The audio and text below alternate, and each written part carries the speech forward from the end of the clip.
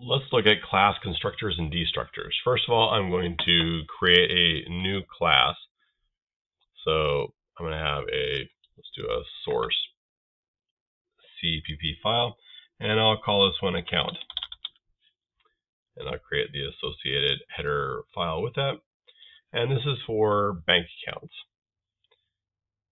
So I've got this uh, account .cpp and I am including an account.h so I'll go over here and get my account.h loaded as well. All right, so in the account.h I'm going to create my class definition. So class account and I have both private and public parts. In the private part, I'm going to have the account number. So I'll make that an integer. And I'll make a float for the balance. In the public, I'm going to create a constructor and then a destructor. So I've got a constructor. The constructor has to have the same name as the class. In this case, it's account. So I'll use account and I can either pass variables or not. So I'll do both so you can see it overloaded or so you can see how it looks with, with two different account constructors. The second one is an integer followed by a float. So I want to actually pass in the account number and the starting value. And then I can have other variables as well, other methods. So I can do a, uh, um, public methods. And this is my constructor. Constructors. So I can have this public method like uh, maybe a get balance.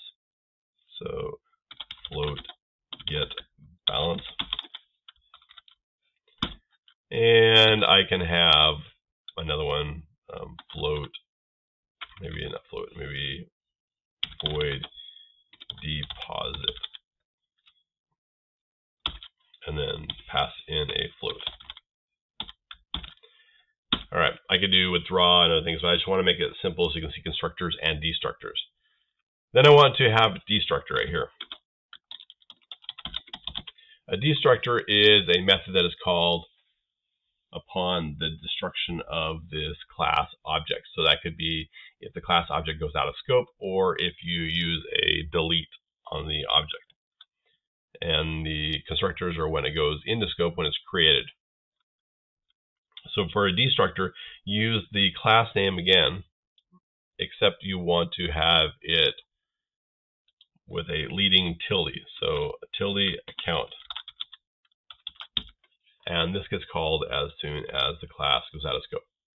All right, so I have my class definition ready. Now I want to go ahead and create the class. So I need my account, account with variables or parameters.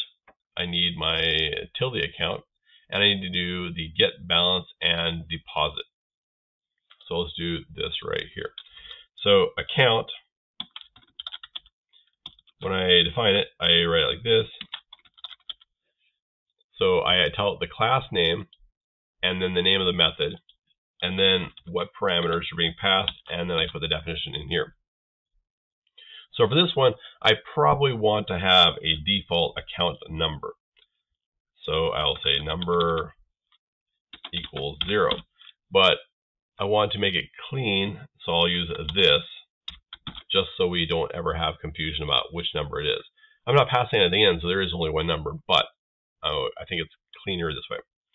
So this balance equals zero as well. Now I can create the other constructor as well. Count. And this one, it takes in an integer for the number and it takes in a float for the balance. We'll do this number equals number. So this this number right here here refers to the class number, and the number in the second half refers to the local number being passed in. And this balance refers to the class balance and is equal to the balance being passed in as a parameter. Then the destructor you do as the account because that is the name of the class and then tilde account in order to be the destructor. And this point you'd want to do things like clean up any variables you've created inside, any pointers you have, anything going on, you want to delete those. Right here, I'm just going to have a basic cout statement. And I'm just going to say deleted and then um, the number that I was that I deleted. So that you can see that it's actually deleted.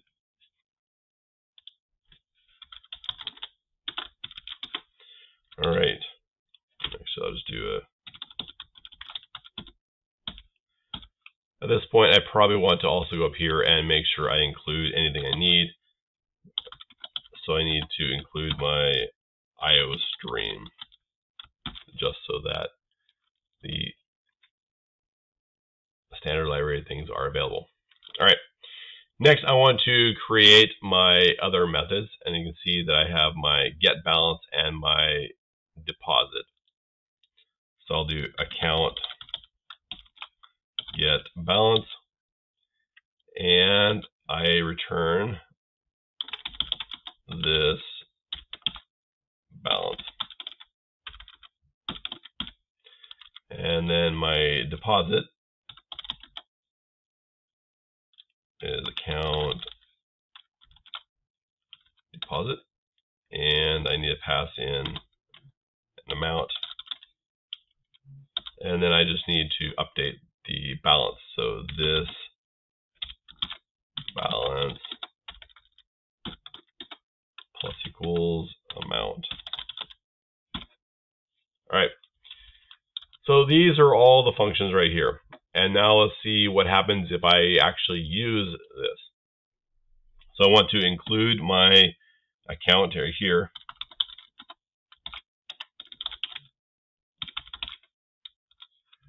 I want to then create an object. So I will go ahead and create the, well, I'll create a couple. I'll do account ACCT1. And then I'll use a pointer as well.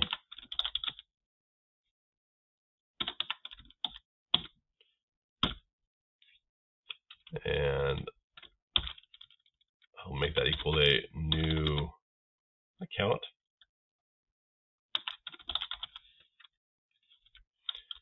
And then I'm going to go ahead and do a third one, also as a pointer.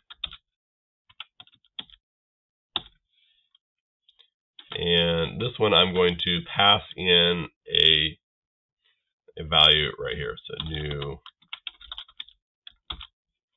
and I want the number to be 1, 2, 3, 4, and I want to balance 1, 2, 3, 4, 5. Now at this point, I can make deposits and withdrawals, although account one and account two are actually both have account number of zero, so that's probably not a good idea, but that's okay. Now I want to show you what happens when I delete an account. So if I do delete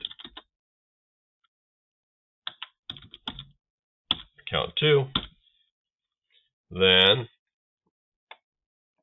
I run this, watch what happens. Um,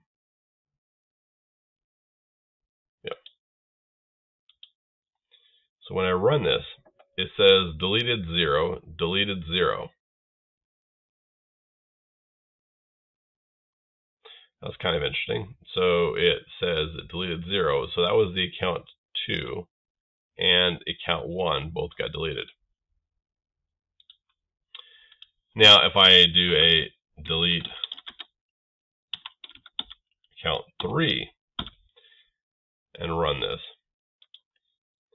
Then it says delete 0, deleted 1, 2, 3, 4, and then deleted 0. So the reason for this is because when I create account 1, it has account oh, ACCT1, it's actually this one at the bottom right here. I didn't delete it, and so it deleted when it ran out of scope. This one right here was deleted when I used the delete command right here, and this 1234 was deleted when I ran this one right here. The first time when I didn't do a delete ACCT3, it did not say deleted 1234 because it was just there and it didn't go out of scope in a clean way because it wasn't directly tied to this method that ended. So if you don't delete things properly, you could have memory leaks. Just keep that in mind. But you can see how this works. You can see both the constructor and destructor. So these are two different constructors. And this is the destructor right here. And you can have them, the class definition or declaration here and the definition here, and then use it to make sure you properly create classes, properly set numbers and values, and also to properly clean them up when you are done. There you go.